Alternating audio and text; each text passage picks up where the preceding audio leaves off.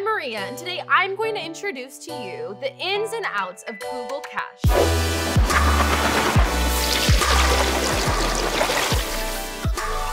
Google's web crawlers are constantly searching the internet for new and updated web pages.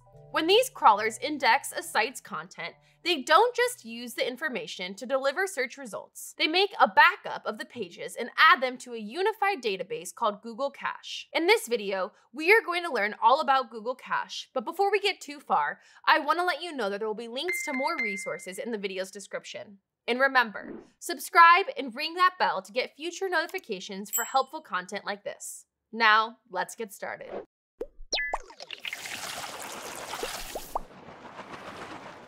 A Google cached page is a raw HTML backup of the content on a page taken during one of Google's crawls. Google Cache as a whole comprises these backed up pages. If you look at the cached version of your website, it'll probably look a lot like the site did back when it was crawled. But there are a few reasons it sometimes appears different than you expect. Two main reasons are the web page is rendered by your browser, not by Google.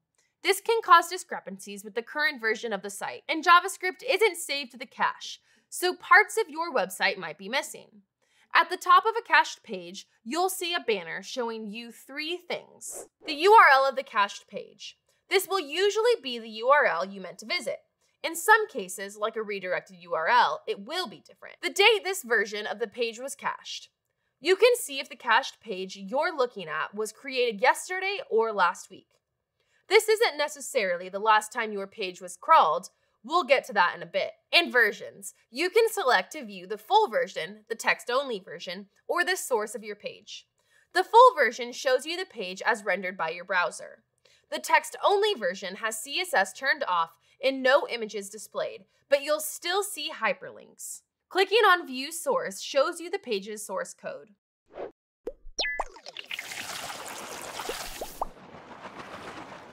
How you go about getting to a cached Google page from the Google search engine results will depend on what type of device you're using. From a desktop web browser, you have two options. You can follow a link to the cached version of a page from the Google search results, or you can go directly to the page.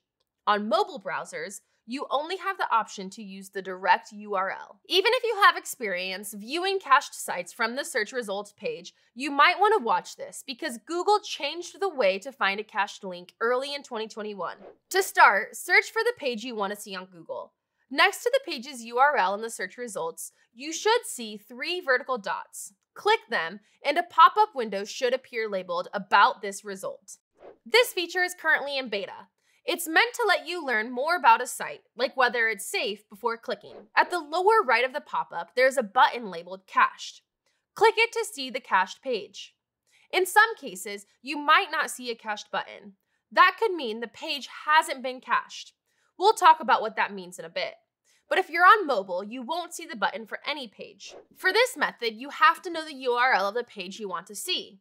For example, cache-kinsta.com will take you right to our cached homepage. You don't need any special tools to view cached pages. Google makes it extremely easy natively, but there are a few tools out there with features you might like. The Web Cache Viewer extension for Chrome lets you right-click any link to see both the Google Cache version and the Wayback Machine Web Archive version of the page. And the Google Cache Checker from Small SEO Tools lets you view the URLs and dates cached for up to five pages at once. Your page says it was cached yesterday, but you want to see the version from last week.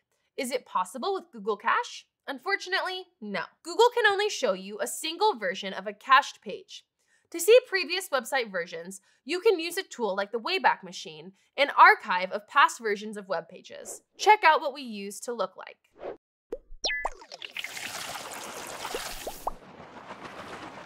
The truth is, there are other tools available to accomplish everything we are about to cover.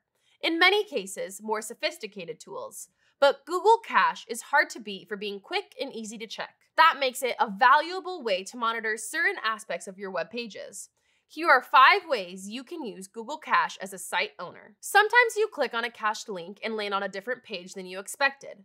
One reason this can happen is due to duplicate content. When Google sees two highly similar pages, it may decide not to keep them separate in the index. This results in only one page being kept in the cache. Google caching multiple pages under the same link can alert you that you have duplicate content on your site. Duplicate content doesn't just create a confusing cache situation. It's bad for SEO. Please take the opportunity to examine the two pages and find a way to differentiate them. Maybe the duplicate content on your website is intentional, but you've added rel equals canonical tags to tell Google which version to crawl. Check the Google cache version of one of the pages you don't want to have crawled you should be taken to a cache to the canonical page. You've ramped up your SEO or content production efforts, and you want to make sure Google is indexing the changes. A quick look at the cached version of a page can tell you that it's been crawled. Note that if your changes haven't already appeared on the cached page, they may still have been indexed. If you're concerned, you can go to the Google Search Console's URL inspector to confirm. But if you see your updates on the cache, you know they've been indexed and will start to impact your search results rankings. You mind your own business and join your position at the top of the search results for a critical keyword when a competitor takes your spot out of the blue. What did they do to get there? You can use Google Cache to find out. Compare their cached pages to their current versions. You'll be able to see what recent changes the competitor made. You should always have a backup of your website in case something happens to it. That said, sometimes the worst can come to pass, even with the most prepared individual. While the Google Cache version of your site doesn't replace a full backup, it does sometimes let you see what your pages look like before disaster struck. You can use it to retrieve old content or code that's been lost.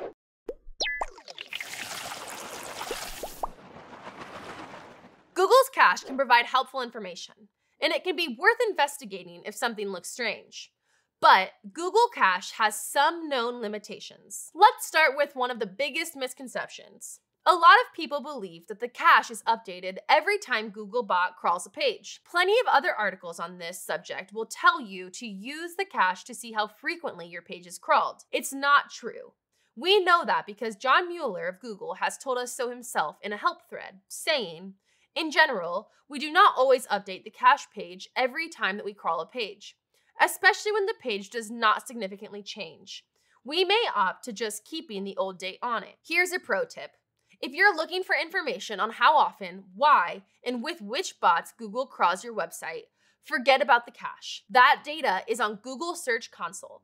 You can find the crawl report under Settings in the sidebar. However, you can only see this information at the domain level. Search Console won't tell you how often each page is crawled. Fortunately, some progress has been made on this front. Google's web rendering service, which renders live pages on the web, used to be based on the outdated version of Chrome. Consequently, up to date browsers sometimes rendered a cached page differently than Google rendered the current page. In 2019, Google Web Rendering Service uses the latest version of Chrome. However, if your Chrome version is old, or if you're using a different browser, the cached page might be rendered improperly. Another rendering issue has to do with missing resources. The code that Google backs up might refer to a resource like CSS or JavaScript. If those resources no longer exist or have changed, the page won't render correctly. We've already looked at how duplicate content or incorrect canonical tags can lead Google Cache to display the wrong page. As you might imagine, this limits the usefulness of looking at the cache for specific web pages. This may come as a surprise, but it turns out that many pages aren't cached at all. A widespread misconception is that an uncached website means that Google hasn't deemed it essential, but that's not necessarily true. We'll look at some reasons a page might not be cached next.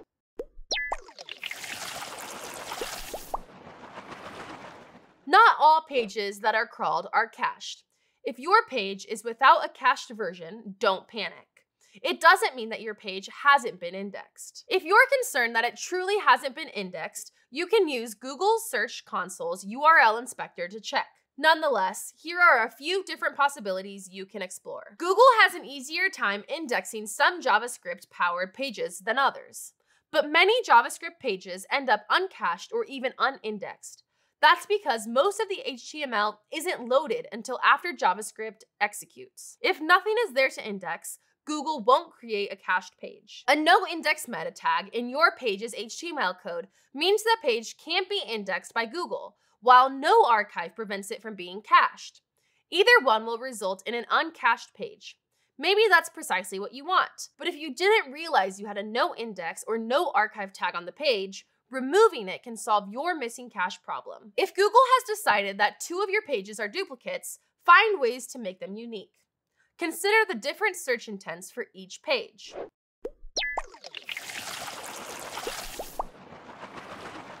Your page doesn't have to get cached, but if you want to make it happen, there are some things you can do. If you're concerned that Google hasn't indexed your page at all, you can check Google Search Console. Enter the page's URL in the URL inspection search bar at the top of Search Console. If you get the result URL is on Google, the page has been indexed. If the page has changed recently and you don't think Google has indexed the new version, you can click Request Indexing to ask Google to re-index it. You might also get the result Page is not on Google. If you do, scroll down and you'll be able to see some details about the page. For example, you can check if crawling is allowed on that page and whether the user chosen canonical matches Google's chosen canonical. To request indexing, click Request Indexing. We've already covered several reasons your pages might not be cached, like extensive JavaScript and duplicate content. Beyond that, the best thing you can do to encourage frequent indexing is to create a high quality site. Make sure you've optimized your website for mobile and that your site speed is high. If your page load time is too slow, it can even slow down Google's bots, leading to delayed indexing.